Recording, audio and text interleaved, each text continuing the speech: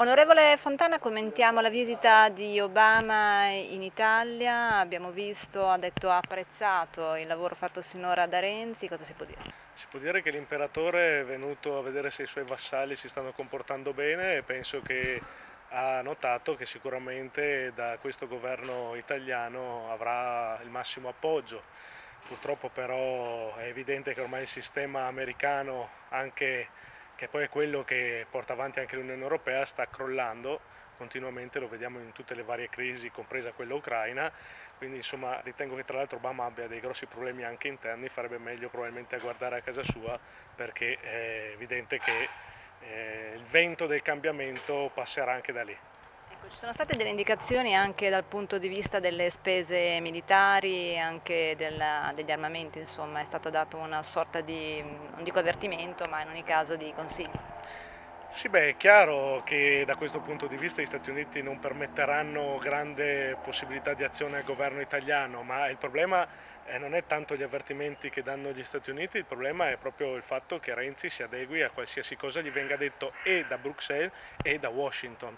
Eh, purtroppo si nota ormai sempre di più come non siamo assolutamente indipendenti e, e come siamo purtroppo asserviti a un certo sistema di potere che è quello che poi ha attuato ha iniziato la crisi economica che non dimentichiamoci è partita proprio dagli Stati Uniti ed è quello che ci ha fatto pagare per salvare le banche e la grande finanza. Quindi il popolo deve decidere se stare dalla parte di chi ci ha messo in questa crisi e chi ci sta rovinando oppure cambiare. Io penso che cambieranno.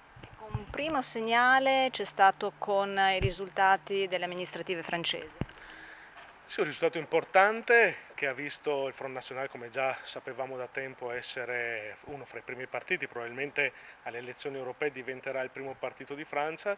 La fortuna ma anche l'abilità eh, dell'azione svolta in Parlamento europeo è stata quella di stringere un'alleanza forte fra i gruppi identitari, fra i partiti identitari, tra cui appunto il Front Nazionale, eh, con il quale condivideremo le battaglie in Europa nella prossima legislatura. Il delinearsi di questa alleanza potrebbe già proprio definirsi dal prossimo mese, ad aprile? Sì, certamente sì. Beh, diciamo che si è già definita ormai da diversi mesi a questa parte. Stiamo lavorando assieme per un programma comune che ovviamente, oltre a prevedere l'uscita dall'euro, prevede anche varie, varie, normative nuove, come quella della lotta all'immigrazione clandestina, come quella della difesa dei nostri prodotti locali, come quello della difesa della concorrenza sleale, in particolar modo dall'Asia e dalla Cina, e come quello anche dello stop all'allargamento dell'Unione Europea. Come sappiamo l'Unione Europea ha deciso di dare altri 7 miliardi di euro alla Turchia nei prossimi 7 anni, dopo i 5 che ha già dato negli ultimi 7 anni. Noi ovviamente siamo contrari e a far entrare la Turchia nell'Unione Europea, ma soprattutto a fare un allargamento che come abbiamo visto negli ultimi,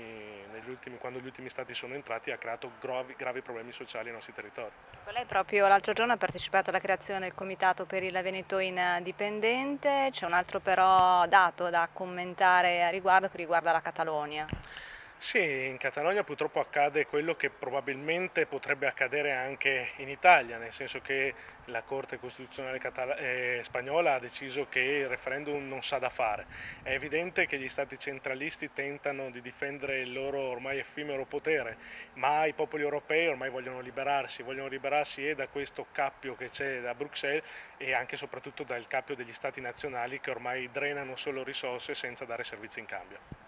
Come si può invertire questa tendenza? Dando più potere al Parlamento europeo? Beh, diciamo che il Parlamento europeo sarebbe l'unico organismo democraticamente eletto e fino a questo momento purtroppo grandi poteri non ne ha, non ha il potere di legiferare il che è completamente assurdo. Questo fa capire come in Europa la democrazia non sia tenuta in considerazione, anzi purtroppo danno tutto ai burocrati o alla Commissione europea che non è eletta da nessuno. È evidente che potrebbe essere una soluzione anche quella di dare più potere al Parlamento, ma il problema è che bisogna dare più potere ai popoli europei per fare in modo che l'Europa del futuro sia un'Europa confederale dove i popoli stringono delle alleanze fra di loro appunto per difendere eh, e per difendersi. Senta, domani, domenica e poi anche lunedì nei vari comuni sarà possibile firmare i cinque requisiti referendari della Lega Nord. In Veneto si è già fatto un sondaggio insomma, tra l'umore della popolazione riguardo di questi argomenti? Sono argomenti molto sentiti, anche di buon senso, l'abolizione delle prefetture porterebbe un risparmio di 500 milioni di euro, eh, la, il regolare eh, la prostituzione abolire la legge Merlin è sicuramente una cosa dal punto di vista sociale importante perché ripulirebbe le strade da degli scempi che purtroppo ci sono tutte le sere e anche di giorno ormai, ma soprattutto potrebbe essere un introito da parte dello Stato di 4 miliardi di euro e poi è una cosa che fanno in tanti altri paesi europei.